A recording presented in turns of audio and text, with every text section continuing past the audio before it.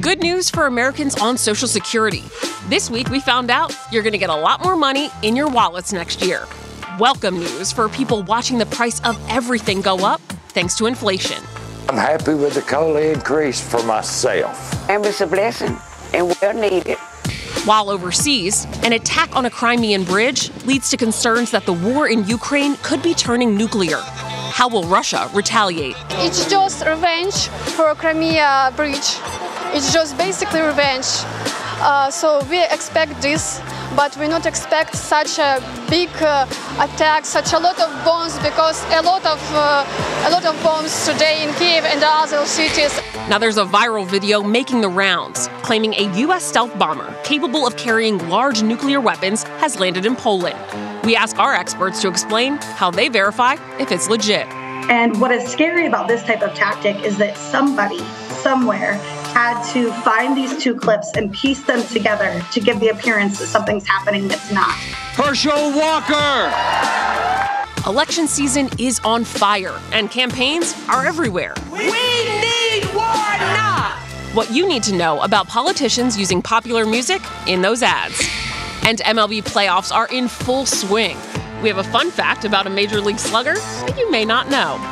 All that and more coming up on Verify This.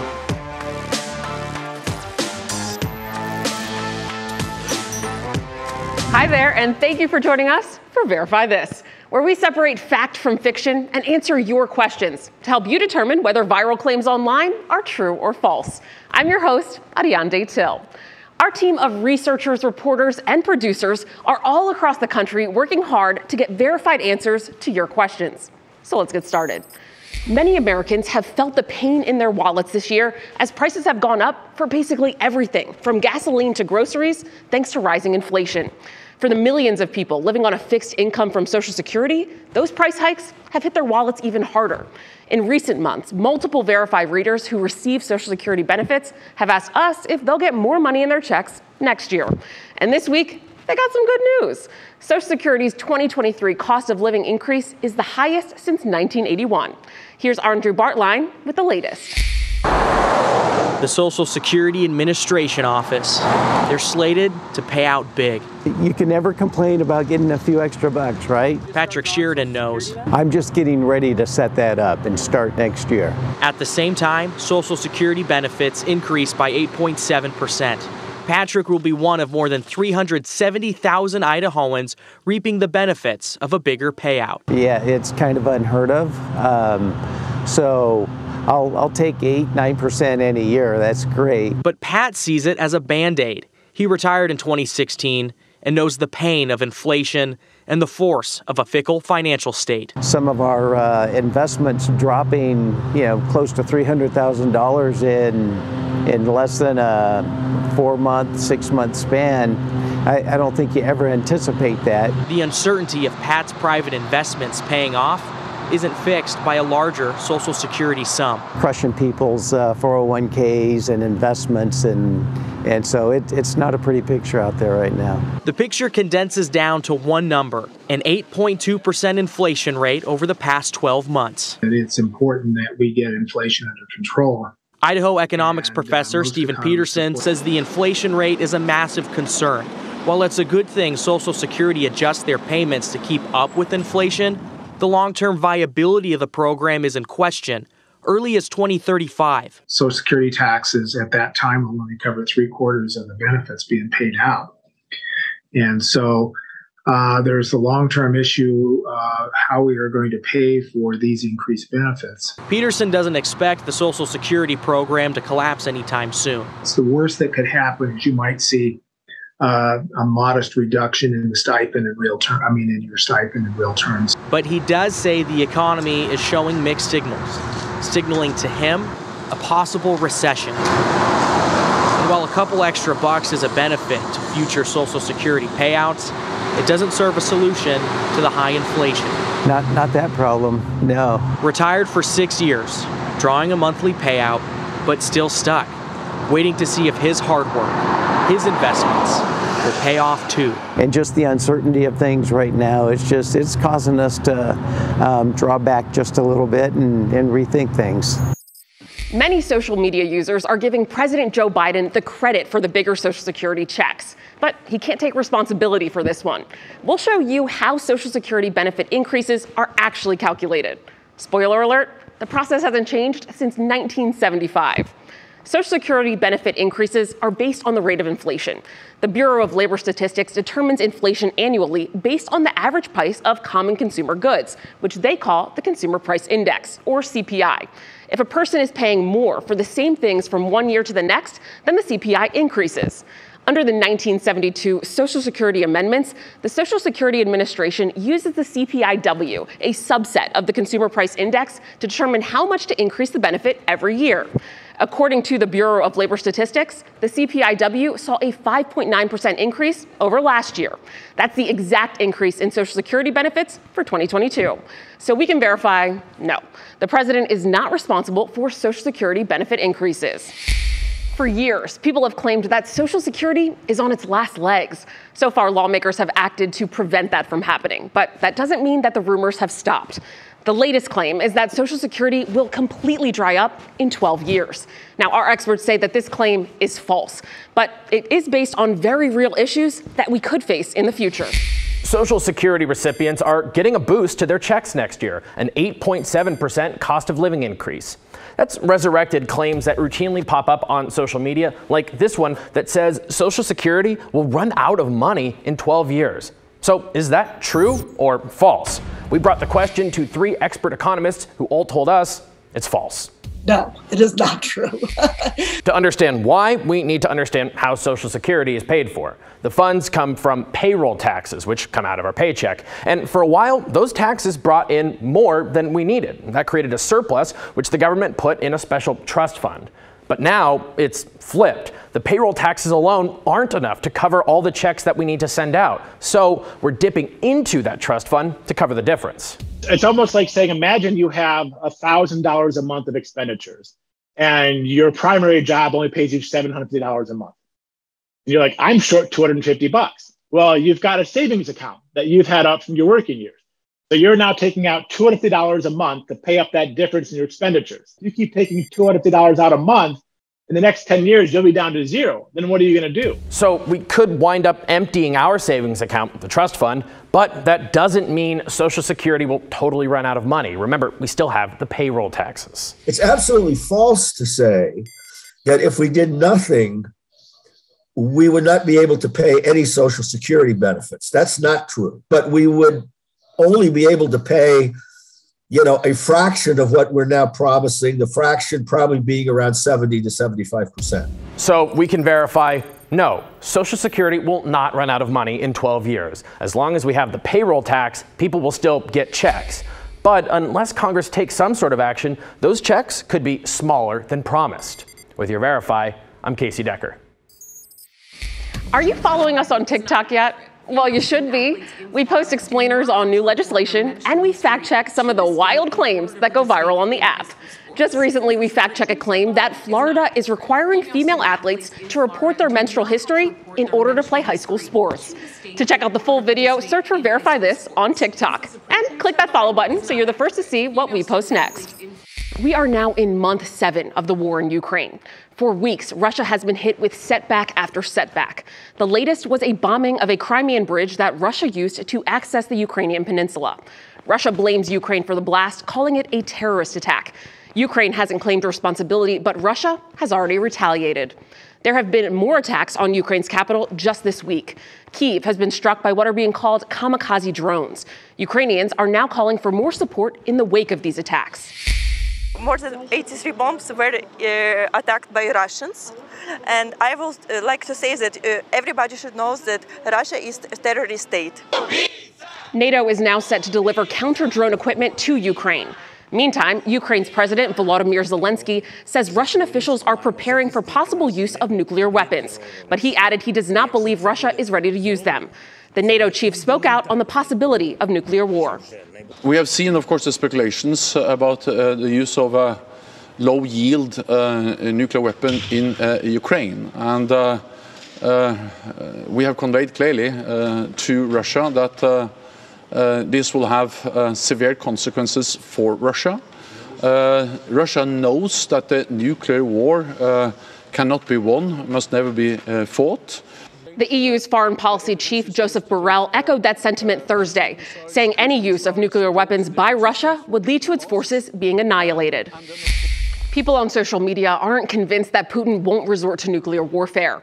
Claims about how he will retaliate are spreading all over social media, along with claims that the U.S. is stepping in to help Ukraine. This past week, a viral video circulated online claiming to show a U.S. stealth bomber landing in Poland in an aircraft that can carry large nuclear weapons payload. If the video were accurate, it would be a major escalation in the war.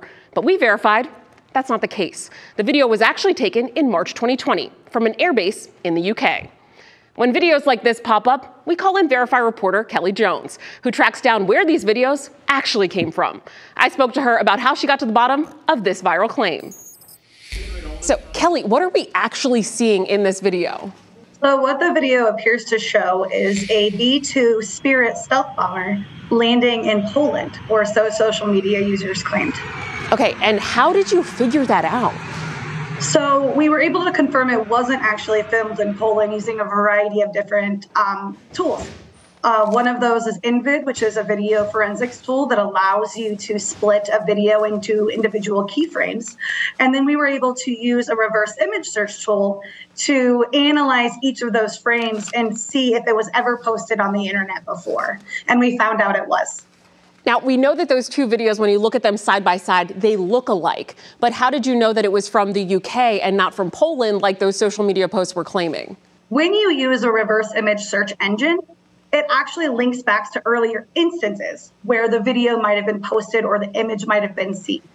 So, a lot of people were saying that happened at the Royal Air Force Base in the UK. And using Google Street View, which allows you to pretend like you're a person standing on the street, we were able to find the precise location outside of the Royal Air Base, also known as RAF Fairford, where the video was taken. And what was the plane doing there in the first place? The plane was actually there to lend support. Uh, that is particular Air Force Base in the UK is also a staging area for a lot of our stealth bombers and other kind of bombers that the United States has in their Air Force fleet. Now, I know working with you every day that you find a lot of videos and pictures that claim to show one thing, but it's actually something else. What kind of advice do you have for people out there scrolling on social media that happen upon one of these videos? My biggest piece of advice would be to go with your gut. If you think something might not actually be real, it might not be and using different tools and different sources that are available for free online or reaching out to verify this, you can find out if something is real or not. Now, I know you're going to stay on this as long as there is news happening. We know Kelly is going to be digging and scraping the internet to find those misinformation videos. So thank you so much, Kelly. I know we'll have you back. Thank you, Ariane. We have more fact checks on viral images and videos claiming to show current footage of the Russia Ukraine war. To check them out, go to verifythis.com. Herschel Walker. We need war now. Good to be with you all. On November 8th, Arizona can reject this miserable fate. You can prove that Arizona is still a red state. Ladies and gentlemen, please welcome conservative outsider and U.S. Senate candidate for the Commonwealth of Pennsylvania, Dr. Mehmet Oz. Those were some of the scenes from the campaign trail this week. You have to be living under a rock if you don't know there's an election just a few weeks away. And it seems like just about every commercial is a political ad. They are literally taking over television airwaves across the country. And a lot of those political ads use popular music. Verify viewer Teresa emailed us to ask if candidates have to get permission from the artists to use their songs in those political ads. Teresa is our viewer spotlight of the week, and Casey Decker has her answer. We're in the heat of midterm election season, which means you're probably seeing campaign ads everywhere. One of our viewers, Teresa, had a question about music used in those commercials. Do candidates always need to get permission from musical artists to use their songs in ads? Teresa, let's verify. Our sources are the American Society of Composers, Authors, and Publishers, or ASCAP, and Daniel Schacht, a music law attorney. In the US, music is protected by copyright. If you want to use a song in an ad, you need to get a license. And just like the Grammys have separate awards for the songwriting process and the performance piece of that song, music licenses are similar. There's the copyright to the recording itself. Whoever performed the recording or the record label will own that specific recording. And then whoever wrote the music, there's a compos- composition copyright. So the songwriters will typically own that. Fights and delivers for our district. To use music in a campaign ad or any other video, you've got to get both licenses. ASCAP says to get them, campaigns have to reach out to whoever holds the rights for individual songs. So who is that? Well, it depends. Some musicians hold all their rights. Some share them with labels or co-writers. Others have sold their rights away entirely. If the artist still owns their rights, then yes, a campaign would need their approval to use a song. If they don't own them, it's up to whoever does. So, although many artists have a say in who can get to use their music, we can verify no, candidates don't always need permission from musicians to use their songs in ads. They only need to obtain a license, which can be controlled by anyone, although it is often the artist. With your Verify, I'm Casey Decker.